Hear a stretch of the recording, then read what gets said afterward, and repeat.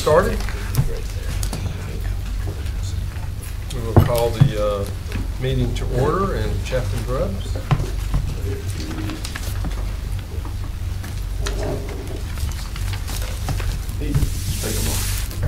Shall we pray? Oh Lord, hear our prayer. We take this moment to hold in care awareness of your sacred presence within. We know the breath of your spirit flows within our flesh and blood, making us each living souls. Let us be in all of this, your dwelling within ourselves, be part of the care and creation of all life. We say that sometimes the daily news reveals our brokenness and pain, calling forth from our communities fear and anger, division and conflict, and sometimes despair about what may seem so evil. Yet we know, held in every brokenness, you abide, revealing the possibility of peace and hope and love flowing from the breath and heartbeat of each one of us. We know this is true because we see and embrace it every day in the rooms and hallways of our hospital. We're sometimes astounded that you have placed such work and responsibility in our hands and given us gifts and ability to be part of healing and hope. We are grateful. We want to be mindful and careful stewards of our work. We want to learn and grow as part of your will of love and care for all. Help this to be so. Amen. Amen. Thank you, Chaplain. You have your agenda that was sent out in your package. Um, I will request, I am going to ask one change on the consent calendar. Dr. Baxter and Mr. Goodrich, um, they did such a good job uh, presenting the other night, and I had put that uh, resolution on the consent calendar, and I just decided it was too good to leave on the consent, so I wanted uh, the trustees that were not at Budget and Finance to hear that. So I inconvenienced them by asking them to come back, and I am pulling that off the consent calendar and putting it on the regular calendar. And that would be Resolution uh, 5602. And with that one change, uh, does anyone uh, have any other changes to the agenda? Okay. Uh, Special guest uh, this evening, uh, I do have one friend here in the front row. My very first client ever when I moved to Chattanooga, Larry Primavera, was, uh, he asked me if we were having a meeting tonight, and I said, sure. He said, I'm going to come and watch. So, Larry, welcome. Um, And we'll start off with our committee and uh, subcommittee reports. Uh, Mr. Studer, Budget and Finance. We did meet, and we now have two resolutions on the regular calendar. Very good. Uh, Dr. Miller? Uh, No, uh, we met, no report for the open meeting. Okay. Tom Ed, I don't think y'all met this month, did you? We did not meet. Did not meet this month. Audit and compliance, uh, We did not meet. not meet. Uh, And I don't think uh, Ms. Stanley, she called in for the MBAC meeting today, but I don't think she is on the phone for this one. So uh, to my knowledge, legal committee meeting is going to be on Monday, is that correct? Yes. Uh, Management Board Evaluation Committee did meet just prior to this meeting at 4 o'clock this afternoon, and we have nothing to bring before the uh, board tonight, and Personnel Committee did not meet. So with that, we will move right into, uh, if I could, uh, let's start with Dr. Bas- Baxter and Mr. Goodrich. Um, What, oh, special presentation, thank you, Kitty, that's what you're doing. I almost, uh, I almost went right past, so uh, Dr. Blake. Is Doc- Hey, was he? Dr. Blake's not here, I can go ahead. All right. Yes.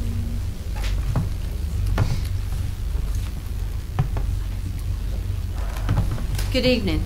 There is a special presentation, and I would like to ask, we have a special guest, Miss Claire Bosol, if she would come up to the front, please. And also, Dr. Strait is in the back. Could I ask you to come up? I'm not going to take a lot of time to introduce uh, Mrs. Vosol, and I hope I'm pronouncing that close. That's the southern rendition of a French name. So, anyway, uh, I actually was at home over the weekend reading the paper, and I saw her um, letter that she presented to the Chattanooga Times. So I would just like for her to give a testimonial, and this definitely is something that speaks to quality. So, Ms. Fasola, what do? Well, I'm, I'm basically here to tell my story, uh, which happened about a couple months ago. Uh, I was diagnosed with a very large brain tumor. Uh, Dr. Strait is the one who broke the news to me, and uh, and uh, it was luckily it was benign. I was very lucky, and the story went so well and so smoothly that I felt um, like writing this letter to the editor in Chattanooga Times Free Press, and I'm here to to tell my story in person uh, with a little more detail. Um, so it was April 15, and uh, there, there had been warning signs, which uh, I was good at ignoring, I guess, or setting aside. Um, but um, eventually, on, uh, on April 15, I, I woke up in the middle of the night with very violent vomiting, headaches, um, that was worsening, uh, not able to hold any medication for headache down, uh, vomiting, vomiting. And, uh, and eventually, um, basically, to kind of back up in the story, I had had warning signs and uh, I had made a, an appointment with a neurologist. Uh, because my gynecologist I, re- recommended that, and uh, so I did, and then I got the news that my family from France was going to visit. So I thought, well, I don't want to worry my mother, so I'm going to wait a little, and I'll make an appointment just after she's she's gone. So I did that, and uh, well, basically, the emergency day was the last day of her visit. So um, that was kind of a not such a nice way to break the news to her, but that's what happened. That's how it happened, and uh, basically, uh, I guess the the tumor had grown too large, and um, and eventually uh, in the morning, uh, a day I had taken off to spend with my family, um, I canceled the plans for the day, and uh, I noticed my speech was kind of slowing down. So I called my husband at noon, and I told him, "You have to take me to the ER." So he got out of work, uh, picked me up, and uh, we uh, we went to the ER. We started with Memorial; it was the closest. And then after they found the tumor, they transferred me to Erlanger right away. They said that's the place where you need to be, and uh, and uh, I felt almost a bit of relief, I have to say, because all of a sudden I'm like, so that's what was happening this whole time. Um, but uh, of course, it was intimidating news. But I have to say that the second I got to Erlanger, or the second I was conscious enough to witness it. Um, I felt calm and I felt confidence around me. I felt uh, a lot of skills, a lot of energy put around me, and uh, and I I was uh, inclined to trust everybody who was suggesting anything to me. And uh, Dr. Strait was the first one, and he and he uh, came up with a plan. Uh, he said that luckily I was I was close to get in a, into a coma when I got to Erlanger, but luckily there was uh, they got to me on time basically and uh, he suggested a, a, plan with a treatment uh, that first uh, was going to get an arthroscopy and a, and a full body scan. The full body scan uh, kind of confirmed what he had thought that uh, the tumor was most likely benign. So that was great news. And and then uh, we went on to an arthroscopy that day to cauterize all the arteries that were feeding the tumor. And uh, and then you know the day after I already was feeling great really because because the, the pressure in my head had diminished of course. And uh, and then he said we'll we'll do uh, we'll do um, surgery on the 20th which was five days after after the initial emergency. And uh, again, so I, from neuro ICU at Erlanger, I was moved to a regular room and I was given a treatment for three days. And, um, and I met great people nurses, uh, technicians, everybody was really nice. Um, sometimes I think, in all these people I met, surely somebody was having a bad day that day. But you know what? nobody, if that was the case, nobody showed it. Nobody showed it. Uh, just a, a bunch of really nice people and uh, I was uh, made to feel really comfortable.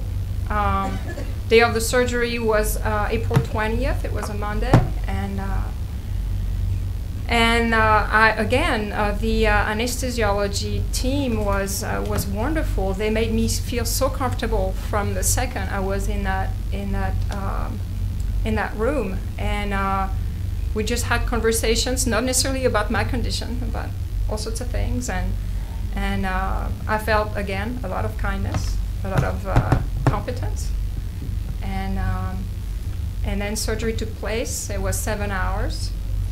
Uh, Dr. Street had told me it was uh, quite a task to remove that tumor, but that he was going to get it done, and he did. And uh, and I remember waking up at neuro ICU, and I had a, a bit of family and friends around, and and then he came by and um, and just uh, made again made me feel really really confident that that I was just going to be fine, then uh, after that one day at neuro ICU, I went. I was transferred to a, to a regular room, and two days after surgery, I was discharged. And I remember saying, looking at Dr. Stone, "Are you sure I'm ready?" uh, two days seemed like a short time, but he, he said he looked at me and said, "You're ready." So I'm like, if he says I'm ready, I'm ready. and uh, and I guess uh, I guess I was because I went home and and recovery went well, and I was amazed that you know. Um, uh, this might make you laugh, but two days after surgery, the day after I got home, I was feeding my chickens. and, um, and I thought, I thought, how can this be? But um, I guess, you know, uh, it's all in the idea we have of brain surgery being extremely intimidating. Um, um, and it is, it's serious but I'm just amazed how how some expert staff can handle it, and um, and uh, I know Erlanger was the place to be.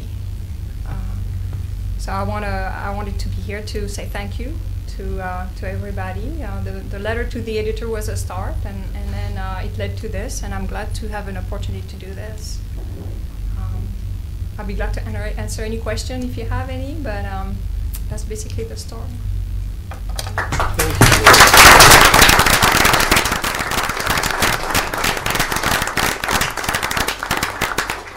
And I, I just wanted to add the trust and confidence on top of an expert staff. Um, I think that's the best combination, and, and, and, it takes the staff to inspire confidence. And, uh, and I was really lucky, extremely lucky. Thank you. Thank you very much.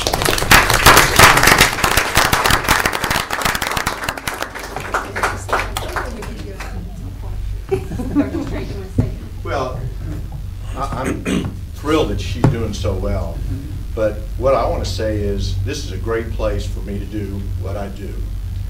It- And it's, we had a great team. Uh, The emergency room took care of her, the floor, the ICU, great operating room. Uh, Blaise, you uh, uh, embolized her feeding vessels and made the surgery a lot easier, so that made it uh, a lot easier for me, and the operating room team and everything. So this is a great place to be able to do uh, neurosurgery, and I couldn't have done it any better without the support that I received. This is uh, a testimony to what we can do. here. Good job. Thank you. Thank you, Dr. Stone. Mr. Chairman, you want me to go for Yes. the next short presentation? Please, go right ahead. Thank you, Chad. Thank you. This makes it worth it, doesn't it? What better quality could we show you than this? So, thank you for participating.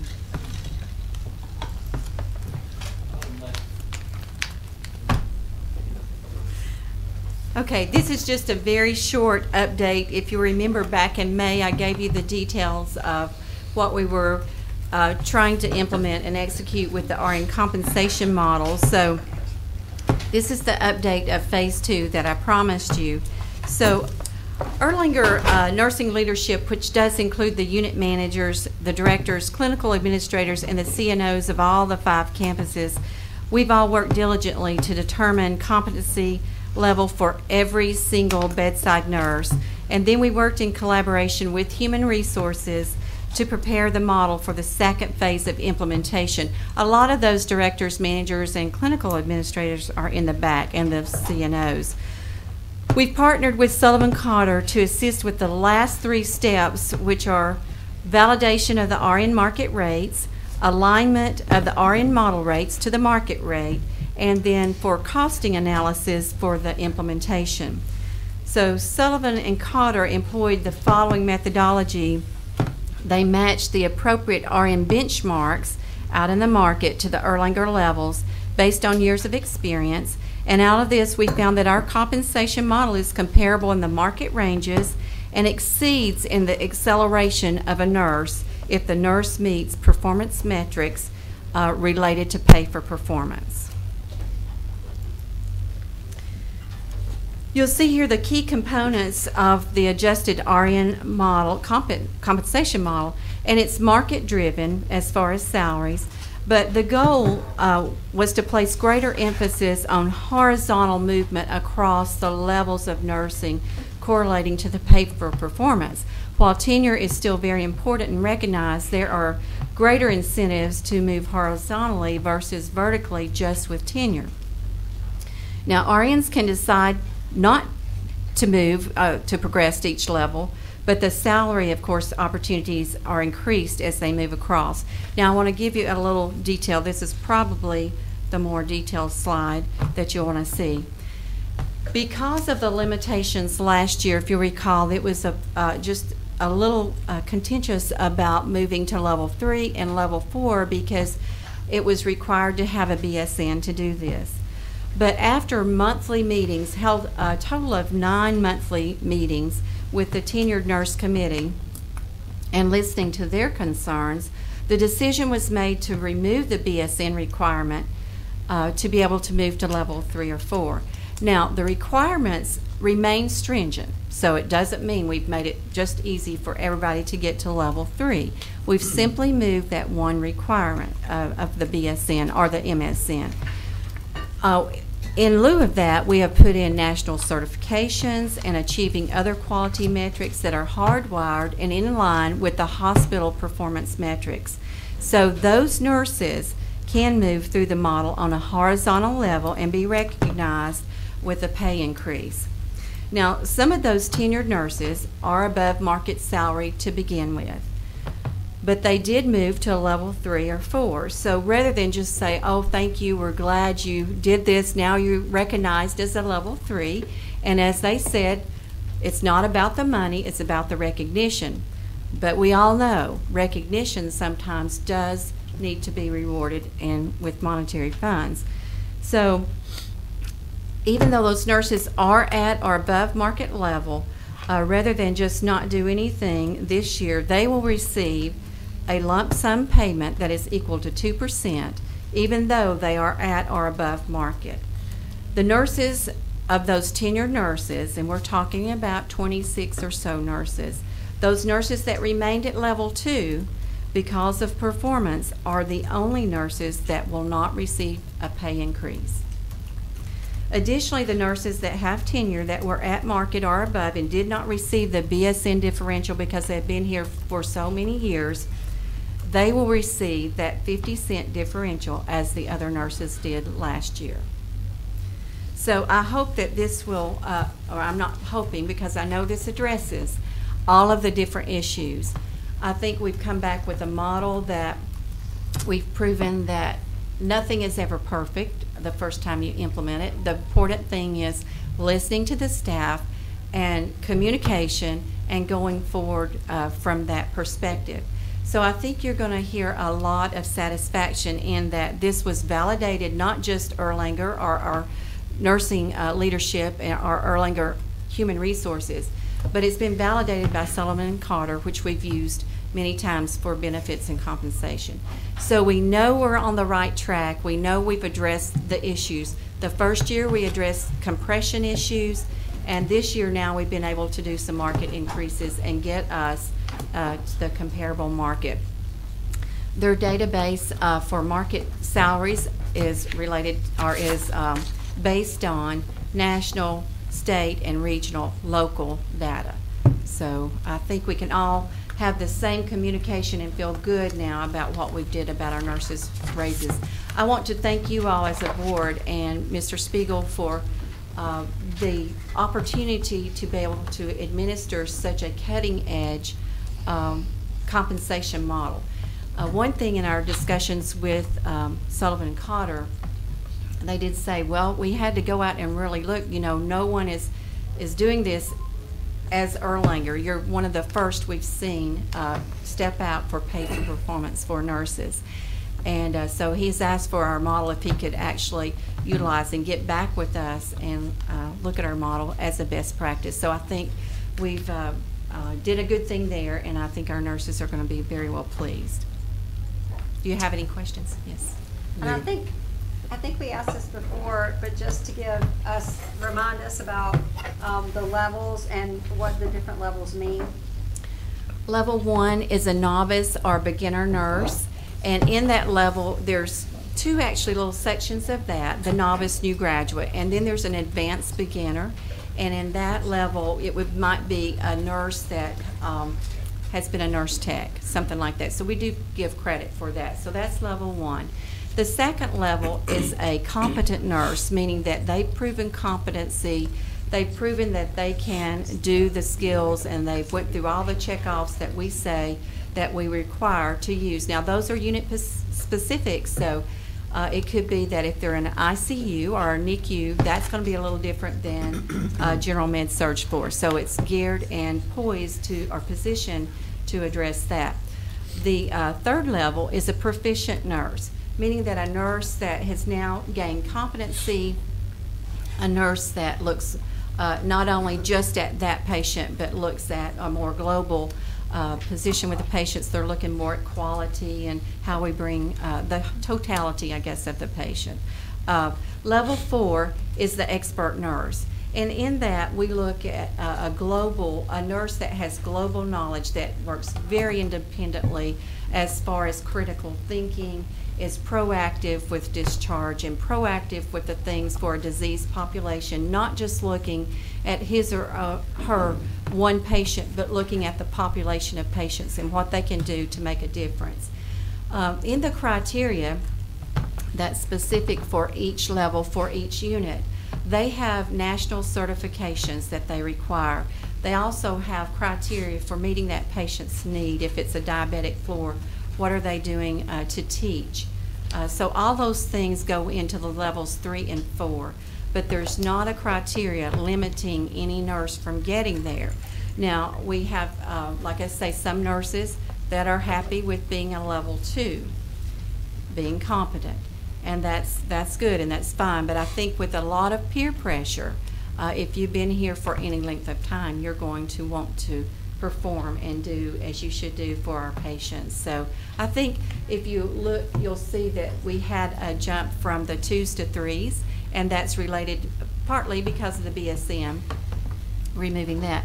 But also, I think it's the desire and the goals of the nurses and those unit specific things that they need to do. I think that has driven them to want to uh, serve our patients in that manner. So. I think we're well on our way to a, a good model. I wanted to present this again so we'll be, I'll be clear on the communication. And believe me, we have two uh, mandatory sessions. We've already had one today. The directors and clinical administrators and will all be meeting one-on-one to do the education and lay the plan out there. Of course, they're aware of um, the levels and what that means, but they need to know specifically if they were rated at this level, why, and what they need to do if they need to move to another level. So it's very, very clear as how they get, it's up to them now as to where they want to go with it. If I should be able to- I make just a couple of uh, general remarks. One is, I mean, this truly is a progressive model as far as our compensation. If you think about where the organization or the healthcare system in this region that provides the most advanced medicine academic medical center. So, so we're looking for highly competent nurses. Now we have a compensation model, model that one will allow the current nurses to grow their competencies and be re- uh, rewarded for that from a compensation perspective and also from a recruitment uh, you know, on a day-to-day, week-to-week basis, we'll be able to better recruit those highly competent nurses. And secondly, I know Britt has said on a number of occasions, and and as far as budgeting is concerned, we budgeted $2.7 million, 5.4 over the course of two years. You see 2.3 million, just slightly over 2.3 million. The additional 400,000 is to fund the lump sums for the nurses that Jan spoke of, and also for the salary-sensitive benefits. So the full 2.7 million is being allocated for the RN raises.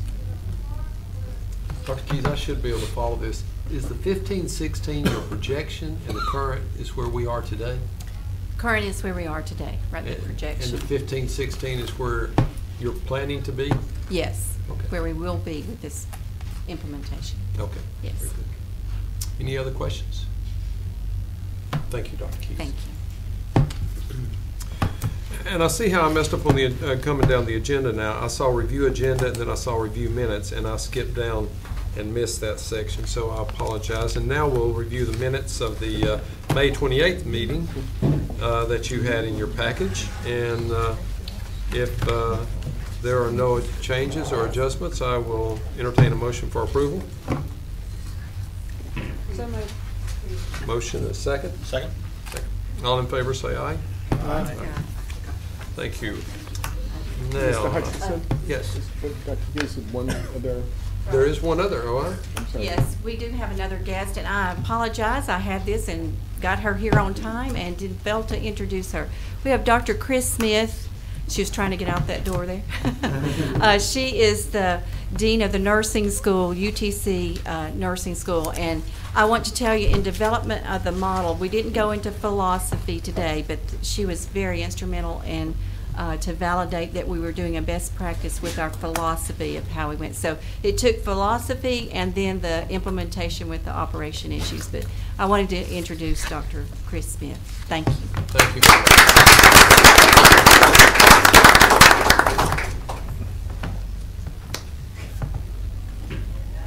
Dr. Baxter, are you ready now?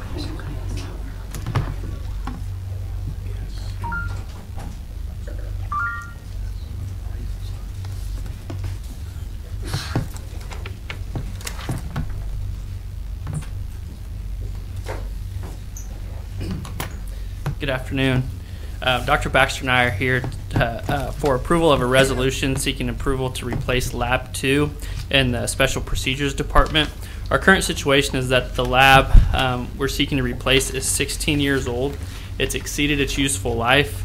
Uh, the, the, the lab is having si- significant downtime issues, and uh, it, it um, has significantly higher radiation exposure than, than what modern equipment would, would have. Um, so the new lab will enhance services that I'm going to allow Dr. Baxter to talk about here in a minute. Uh, with a project cost of about 3.2 million, I think exactly on the resolution it's 3.199 uh, 825. And then uh, we have a, a with a net present value of $163,570 over five years. So, with that, I'm going to let Dr. Baxter talk to you a little bit about the, how it'll enhance our services. Well, I, I wanted to start with our patient guest has left, but I, wanted to thank her in her absence because I know when we do the business of medicine, it's sometimes hard to get a glimpse of the impact that we have on people's lives. And so I want to thank you for your involvement to, to have stories like that uh, happen. And it's, it's great. I get to share in that daily to see, you know, sort of people uh, hear their story, but uh, it's, it's, a, it's a great thing that people come forward and, and tell their story. Uh, good stories in, in the world of interventional radiology and interventional neuroradiology. Um, as, as Mr. Goodrich has said, our volume has really, uh, you know, gone through the roof. If you take a baseline, we were a busy um, practice uh, here in 2010, doing about 11,500 procedures uh, based in two angio rooms that sit sort of side by side, um, and CT work. Um, if you look from 2010 to 2015, we've had several years, 2014 to 15, 22% growth. This year we're on track to be about 20% growth. So we may double that if we go on this projection. We'll be at probably 22,000 procedures. Some months we're at about 2,500 procedures a month right now. So, so, so the growth has just been explosive. Uh, that area of the hospital is where we deliver.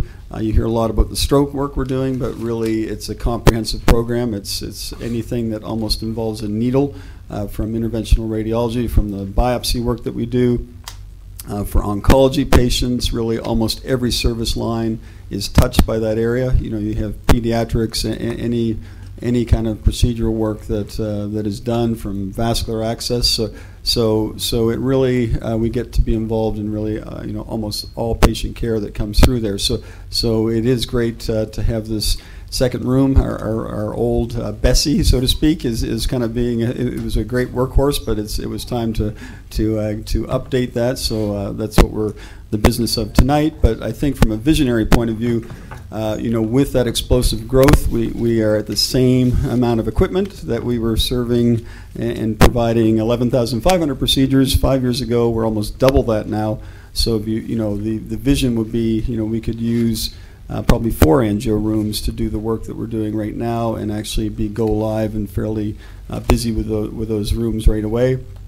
As well, there's opportunities, cer- certainly, like I said, stroke gets a lot of the, the press, but uh, I, I share in the board and Mr. Spiegel's vision of, uh, you know, like lines like uh, oncology and, and stuff like that. We can definitely, uh, you know, bring technologies to those areas where we can uh, be leaders in the community and region where we offer um, procedural type of work done on, on state-of-the-art, you know, technology that our, our competitors don't offer or have. So, so uh, like I said, I, I thank you for that opportunity. It's really uh, a, a great uh, privilege to work in that area and invite um, all of you. I know several of you have come through that area, but if you if you would like to see what we do on a day-to-day basis, uh, you're more than welcome to, to come and and uh, spend a little time. So thank you. I guess entertain any questions if you have any questions. Questions? Sure. My question, Tanner, and I mentioned it at the finance committee meeting, what, with the exponential growth, is this adequate, what you're requesting? I know it's not a question, probably you don't get very often, but it sounds like it's not. Yeah. So I think Dr. Baxter started to touch on that um, with his discussions about, you know, at, at some point, even adding a third and a fourth lab um, uh, to to handle all the volume that, that we've seen, and uh, it is part of our strategic plan. Um, ultimately, today we're landlocked a, a little bit with, with where we're at. Um, ultimately, as part of our strategic plan, uh, we we do anticipate moving um, the interventional radiology space to um, to uh, potentially the Masood building with the, the, the neuroscience build out. If, if that takes fruition, at that point we would look at adding additional labs. Um, just unfortunately, with the space that we have today, uh, there's really not a good way to, do that programming. So, so there is uh, opportunity, as, as Tanner is saying, to kind of, you, you know, um, uh, we're waiting a little bit till, to build out to get space. So, so neuroscience can kind of branch off and, and, and set up in the Masood building, you know, kind of make the investment there to kind of uh, put some more labs, be in close proximity to the ER. Um, so, so, you know, I, I think right now we could, you know, obviously use more equipment, but we're kind of waiting a little bit for the next steps, phase two. Okay, thank you. And this will be out of next year's budget, right? That is correct. Okay, very good. One other question, in the, I think I'll touch on this in budget finance, but for the broader board. During the construction of this, does this, I mean, we have, I think anecdotally you said one and a half, capacity of one and a half of these things, we're gonna go down to one. How long does construction take? Will it create a backlog? Walk, walk, just a little bit on that. Yeah, so uh, the lab, i- if this resolution is approved tonight, will be l- delivered on July 22nd. Um, It doesn't take too long for the current lab for that to come down. That can be done in a few days. So it'll be delivered on July 22nd, installed within a day or two, and then applications training will begin. And um, we anticipate a go live in the second lab of uh, around August 1st, or in that first week of August. And so obviously, from a contingency plan, you know, we've, we've made sure that uh, we can continue to provide the care and, and, and, you know, the things that we need to do. So, so, you know, institutionally, there are other labs that we can work in. You know, is it, is it convenient and ideal for us on a day-to-day? Um, You know, a little bit of an inconvenience with, with going down to one lab, but certainly all the care can be delivered. It's just a matter of going and, and using either the endovascular labs in the OR or up to the new cardiac cath labs. So, so no patient will be in jeopardy of not getting a, a treatment. Other questions? If not, I'll entertain a motion for approval. So moved. Second. We have a motion and a second. Uh, Any other discussion? All in favor, say aye. Aye. Opposed, like sign. Thank you very much. Thanks for coming back again.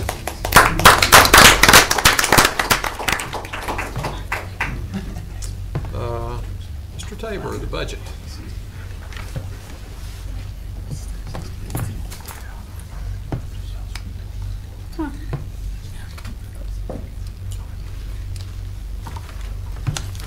Good afternoon. I'm pleased to uh, present the fiscal 2016 budget uh, for next year. Uh, The budget has, was reviewed by the Budget and Finance Committee and also uh, reviewed by the Financial Review Committee as well. The Financial Review Committee did give a positive opinion back to our chair, and I think everyone got copies of that. Uh, We also held a educational uh, luncheon for our Board of Trustees to have any follow-up questions uh, and went over some of the details as well. Uh, What you have in the resolution is on attachment one, which is the Erlanger Health System income statement. Uh, We, in the resolution, we're approving a charge increase in the aggregate amount of five percent. Uh, On attachment two is our wage and benefits structure for next year, which includes the amounts that Jan mentioned earlier. Uh, On attachment four is our basic requirements. Uh, And then we have our capital budgets attached, as well as our audit service budget and the compliance. Those last two items are required under the authority resolution to have those included in this resolution also. Uh, As you recall, the, uh, we're uh, presenting about a 3.9 operating margin. We believe this is feasible, and just as, as of today, if you remember, one of those items that's in the significant issues uh, list that could impact the, that got settled uh, with the, the Supreme Court decision, so that's sort of one of those items checked off at this point. But there's other items on that list that makes this a very uh, aggressive budget, and we will definitely keep both the board and the Budget Finance and the Financial Review Committee updated as those things uh, become more clear as those regs and rules get uh, finalized. So I'm asking uh, your approval tonight. And I hope you don't get your feelings hurt if there's not a lot of questions, because we have talked about this for the last eight weeks, I guess. Yes, we've among pretty, the trustees. pretty much looked through all of this. Right, so you, uh, our trustees have had plenty of uh, opportunity to, uh, I don't want to stifle any conversation, but that's why you might not get a lot of questions tonight. That's, so. that's fine. Now, I think we've done a really good job, and I, I do like the process that we have uh, evolved into to allow plenty of time to review, plenty of time to ask questions. Uh, so I, I very much appreciate the board's time that they've given me in the last eight weeks, because I know that uh, it's a it's a, a volunteer job, and thank you so much uh, for that. And I, I also uh, said the same thing to our financial review committee, because they spent a, a significant amount of time as well. That's one thing I learned as chairman quick, uh, early on, is don't surprise the trustee. Yes. So uh, I learned that, and uh, we try to get it out to everybody in plenty of time, so you have uh, time to ask questions. Very good, so. Uh, Any questions, Mr. Tate? I don't have any, any question about the budget, but I just wanted to comment that it just seems like that there's, uh, Brent would probably, probably back me up on it, but it seems like an awful lot of assumptions that have been made in coming up with this budget. And a lot of those assumptions are not necessarily built on concrete either. They're built on moving balls that we really don't have any control over whatsoever it just makes it very, very tough if uh, this thing falls apart in the middle of the year. It's going to be very difficult to uh, bring it back in line. But Yeah, Monday night, we went over, I think that was one of the questions, what are your risk factors? Uh, What, what could surprise us? And there was, uh, if I remember, There is. we can check one off the uh, list to- today Yeah, with the right. Supreme Court ruling, but there's still, if I'm not mistaken, about five or six other things that could come along. It's a material And- impact Yeah, of the and, and, and I think healthcare financing is different than a lot of other industries where um, you could actually come here, get services, and not be required to pay. And the fluctuation about payer mix could change from month to month. Um, i- i- it's an industry that's challenging, and that's what makes our job so much fun um, and keeps us up at night.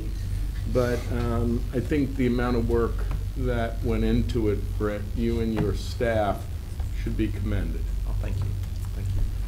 And also, if I remember correctly, about all, all five or six of those challenges are uh, uh, unknowns. None of them are going to have an upside potential on them. I- If, I- if my memory serves me correct, there's, um, it's, it's all downside risk, so. No, uh, It's definitely weighted to one side. That's right. So, If not, I will uh, entertain a motion uh, for approval. So moved. And a second? Second. Okay, we have a motion and a second. Any other discussion? All in favor, say aye. Aye. Opposed, like sign. Let's give Mr. Tabor, Pam, and all his staff a a round of applause.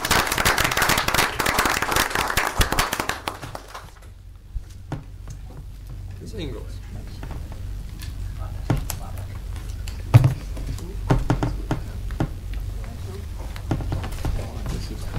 Good evening. Tonight I'm presenting the resolution for the upgrade of the firewall. Um, It's the software, the professional services that's wrapped around it. Um, It does not exceed six hundred and seventy-six thousand. Um, And it was presented to the Budget and Finance on Monday night. So I'm here to seek approval to move forward with the purchase of Palo Alto for our firewall upgrade and hardware. We have a, a commitment from Erlanger and um, to advance our technologies. This is one of my key elements in our strategic roadmap to advance us for future state over the next couple of years, so. And I'll, if you're ready, I'll, I'll ask, I think, an important question. Okay. Everyone probably, if they're techie, they might think this way. Yeah, I could Not, talk I'm just- I'm just and talking. ports, but yeah. But, um, I do want to make sure that everyone's aware, and I'll ask you, what, what we're doing here tonight, this is totally compatible, works with, and works in harmony with the, the big Epic package that we're doing. This, we're not gonna have to take this away, this works with it? Right, this is a long-term solution for a while for us. When I draw the roadmap out, I have definite key elements since that we are gonna partner with an Epic solution moving forward for years to come. I have to start drawing the roadmap to position us. This is our solution for our firewall. Works, works fine for future state as we move forward. We already have relations with, um, Palo Alto, which is one of the big firewall vendors that a lot of people um, go to for these kind of services. This is inclusion of the hardware, the software, and the professional services to help us implement it. So it is, it is part of the element of getting us positioned for future state. And Tish, is this the same vendor we're currently using, just It an is. upgrade? We, we, yes, we have relations with them now, so we're just gonna upgrade. Very good. Other questions? Nikki? Um, and I guess we need to talk a little bit about HIPAA, and everybody knows that every company now needs firewall to protect information, but HIPAA is a whole new level. It's easier, from a user standpoint, it's easier to get into my bank than it is to Erlanger to find information on my patients. It drives me crazy, but there's a reason for that. And it's a fifty thousand dollar fine per incident, um, for information that is, um, uh, out there on patients. So it's a very, very, we have to have a much tighter firewall, so just so anybody, every time you get irritated because you can't get into the system, there's a, there's a plan. There's a reason. There's a reason. It, it doesn't always make it better. I'll just go spend some money and transfer funds at my bank if I get frustrated with Erlanger. Yeah, we're responsible for t- protecting that information, and we take that very seriously here. So we wanna keep advancing as we grow to make sure that we do that. Yeah, just so everybody knows, is you buy this and you have no issues. When Judy Faulkner came, the founder and CEO of Epic, um, what did she fear most in the IT industry? And it was cyber attacks. And she's concerned about that.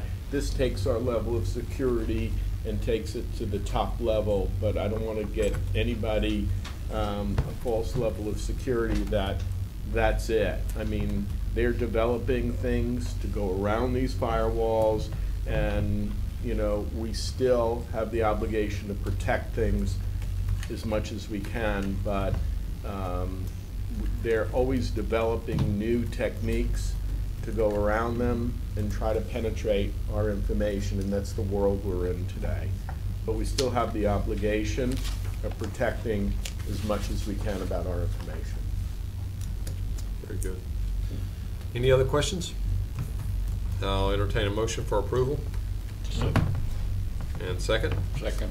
Have a motion and a second. Any other discussion? All in favor, say aye. Aye. and opposed, like sign. That leaves one item on our consent, ca- thank you, Ms. Ingles. Uh, That leaves one item on our consent calendar, uh, Resolution 5601. And if I could entertain a motion for approval of consent calendar. So moved. Motion, second? Second. All right. All in favor, say aye. Thank you. Um, Moving on down our agenda, I don't think I've left off anything else. Um, uh, Dr. Kern, uh, Chief of Staff report. I have no report. Okay. Dr. Seaberg? Well, today was the official day of orientation for the new residents and fellows. There's, there are 63 new residents and fellows that started today. And despite what you hear, July is not a bad time to get sick because there'll be more doctors than ever in July. August, I'm not so sure about, but July, it's okay. Very good. Thank you very much. Mr. Spiegel? Mr. Chairman, thank you so much. I do want to acknowledge Dr. Seaberg and the College of Medicine. Early this morning, I did present to the incoming uh, House staff. Um, It it is one of those sure pleasures that you get to introduce the healthcare organization to new, bright, first-time physicians. Um, I think they bring a lot of diversity and a lot of knowledge to Erlanger, and it makes Erlanger a special place. And the relationship between Erlanger and the college has never been better. And today was surely an example of that relationship. And so for that, I, I thank you. Um, King versus Burwell, the United States Supreme Court made a lot of decisions today, and all of those decisions were published.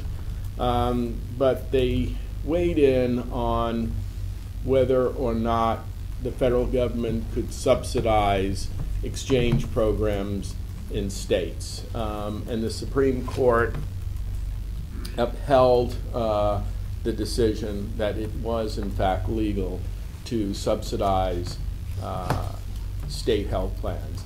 It did put about 350,000 insured Tennesseans at risk, of which about 160,000 of them do receive subsidy from the federal government. And I think that's good for our state. I think it's good for health care, and um, I was proud that we took this step forward. Um, I know there's going to be a lot of press around the issue, but I think it was a good decision for Hamilton County patients, residents, and Tennesseans at large. Um, we held a service awards ceremony for um, our employees. Um, I believe, I think Mr. Studer was there representing the Board of Trustees. Uh, we honored a lot of employees, and Linda Benford um, received 45-year uh, certificate for serving this hospital and, and the patients. Um, we honored 10 associates that had 40 years of service, 26 associates with 30 years of service, um, and it, it was an exceptional. Um, Human Resources and the Services Committee did an unbelievable job putting that together. I do want to acknowledge Dr. Phil Jackson and the Erlanger East Hospital. They had a groundbreaking uh, ceremony on Monday. It was extremely well attended. Our um, Mayor Coppinger was there, um, as well as Phil Fulmer, one of the past head coaches of the University of Tennessee football coach. Um, his daughter recently had a baby at Erlanger East and felt obligated to also share his positive story with everybody in attendance. And it was, it was absolutely um, a wonderful experience and really lifted and made a real commitment of Erlanger's um, investment to expand patient care in this community.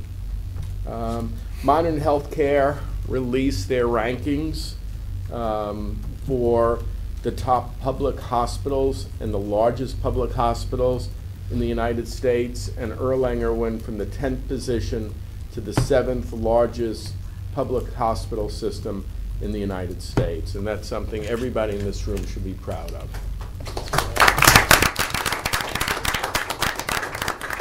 I just wanted to update the board on some of the progresses, and we, we- do know that our census is growing and that we're responding um, aggressively to that, but we have opened up 12 uh, med-surg beds at Erlanger East.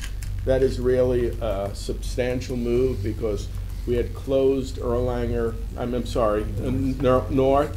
Um, We had closed Erlanger North, um, what, seven, eight years ago, and now we're opening it up to beds. The infrastructure is there, the beds were there, um, everything was there except the ability to staff it. Dr. Keys and her team has worked really hard with Rob Brooks um, and Dr. Phil Jackson to get that up to speed, and we opened that up. The orthopedic surgical suite uh, is scheduled to open January of 16. The cath labs and four OR Street suites at Erlanger East are scheduled to come online in March of 16. And the main campus cafeteria and the new physician lounge is, will hopefully open uh, 2015, hopefully with Sodexo now managing that. We have to make sure that goes um, on schedule. I do want to also bring you up to date, you know, we have a bariatric pro- program, and it got surveyed for the first time, and it received full accreditation as a bariatric center of excellence. I do want to acknowledge Dr. Keys and her staff, as well as Dr. Sanborn, for all their efforts to get this center of excellence accreditation. And, and again, I just want to acknowledge Britt Tabor for all he does to get that budget um, to rest. And now all the challenges are just before See if we us, at least begin on July 1. Um, I'm glad with Dr. Keys that we're able to implement the second phase um, for the bedside nurses and a 3% raise for all employees um, in January. And um, that's my report, Mr. Chairman, and I will stay here and if there are any questions. I will uh, commend the entire management team uh, out at East. It was a a great uh, uh, groundbreaking, and several trustees were here. I appreciate you attending. So uh, even though it was 97 degrees, I think, uh, you guys pulled it off rather well. And then my other, only other comment is I can't wait until Dr. Keys has to open up the remaining beds at North. Yes. Uh, I ask about that about every week or two, so uh, I'll be glad when that, uh, we have needs for that, so thank you very much. Does anybody uh, have any other questions, Mr. Spiegel? Anything else to bring before the board? You have upcoming meetings, uh, uh, you see at the bottom of your agenda, so uh, make sure you uh, make your meetings. Uh, uh, And I see that we do have Budget and Finance Committee meetings. Sometimes we skip July, but are we? We we put- skip it. We might, because we don't have We don't the have- final uh, results of, We from don't our have any audit. scheduled resolutions either, so. No schedule. So, so if- even though that's on here, you might get an email saying, let's don't meet. No. So we'll, we'll see. Anybody have anything else? I will remind my trustees, we have credentialing meeting uh, following this. Uh, We'll just meet up at the board office, and that way we won't have to uh, hustle uh, uh, things around down here, so we'll just meet in the board office. So with that, this meeting is adjourned.